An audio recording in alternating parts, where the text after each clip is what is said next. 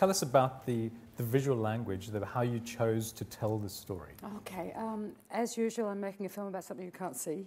Um, so I keep choosing films that you can't see anything. Um, so you have to spend, you, you, have to, you know, like, what are you films? DNA, you know, hello. Um, you get those little squiggly lines on screens, that's it.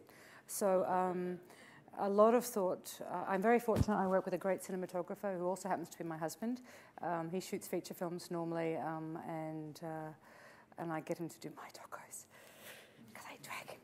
And and we spent a lot of time just thinking about the, the, visual language. And the language was of replication, obviously. There's lots of lots of images of replication, of things being uh, cloudy and becoming clear, indistinct becoming distinct. Um, there was a lot of obviously time lapse, playing with time, uh, using the clocks because you kind of need to use the clocks.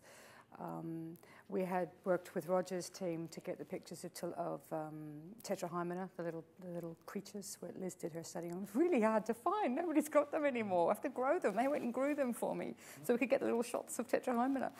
And dear Scott, you know, I spent, I think, weeks growing those just so I could get a little shots of these things going like this. Um, you know, it's like you go, those things are really hard because no one's using them anymore. Um, so the visual language was really trying to be energized, trying to be uh, poetic and elegant and visually pretty uh, because it's hard, it's dense science, and if you just make it as a piece of um, information, I think we would have all gone to sleep and be curled up on the floor going, please, you know. Um, it's really trying to get it pacey.